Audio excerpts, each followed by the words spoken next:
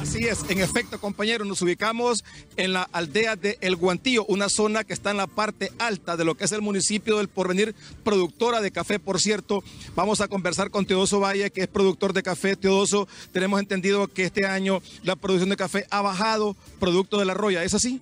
Sí, claro, eh, enormemente ha bajado, ¿verdad? Porque el año pasado andábamos alrededor de 13 mil quintales oro, ¿verdad?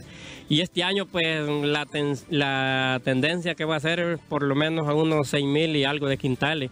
Eso ha sido producto, de hecho, del proyecto de el malestar que ha tenido, ha recibido la planta. En su, en su momento con lo que es la roya, ¿verdad? Y eso los ha afectado bastante, ¿verdad? Nuestra, a nuestra zona y estamos nuevamente preocupados por eso, pues queremos ver cómo hacer, meter algunos proyectos para contrarrestar ese, ese gran daño que tiene la planta.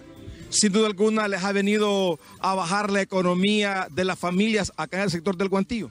Sí, claro, porque mire, usted sabe que le damos empleo a muchísimas familias, ¿verdad? Y eso ha, ha disminuido bastante, ¿verdad? Y eso trae preocupación, porque usted sabe que los ingresos tanto familiares como a los trabajadores también eh, servía de bastante, pues, pero aunque sea, pues, eh, de una y otra forma, en algo los va a servir este año, ¿verdad? ¿Qué pasa con las instituciones que le dan apoyo al caficultor en Honduras? ¿Le están apoyando ustedes en, esta cruzada que les ha afectado la roya a su producción?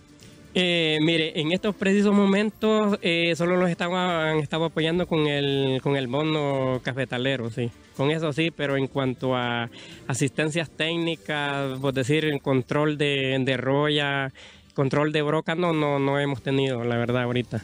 La producción del café en el sector del Guantillo este año 2022 ha bajado ostensiblemente producto que tendrá que repercutir en la economía de la familia de este sector del Guantillo, que es una aldea que pertenece al municipio de El Porvenir. El llamado es entonces a las autoridades cafetaleras para que vuelvan los ojos a esta comunidad y apoyen a los productores de café que han sido afectados por la arroya.